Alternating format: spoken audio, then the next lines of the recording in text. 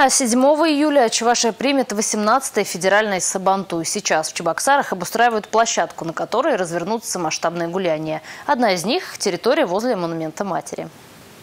Возле монумента матери покровительницы буквально на глазах вырастает татарское подворье. Рабочие возводят национальные избы, бани, мельницу. На все время праздника здесь поселится домашняя живность. Лошади, гуси, куры. Рядом откроются лавочки с сувенирами. Гостей праздника будут угощать самыми вкусными блюдами татарской кухни. Но самое яркое и зрелищное – это национальная борьба кереш. Силачи будут бороться тут же на площадке. Ее как раз обустраивают.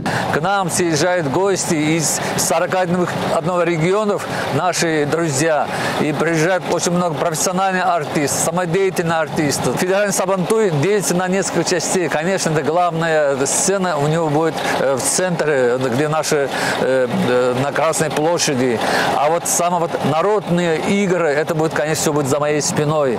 Народные игры тут будут. Потом татарское селение, где прошли э, Сабантуи, наши национальные праздники Чувашской республики. Это пять селений будет представлять. Преобразил Появился и пешеходный мост, который ведет от Красной площади до монумента матери. Его украшают флаги 60 регионов страны. Это своеобразный портал, по которому гости смогут попасть из Чувашии в Татарстан. Организаторы обещают, что Сабантуй пройдет с невиданным размахом. Национальный праздник вновь объединит народы и города страны.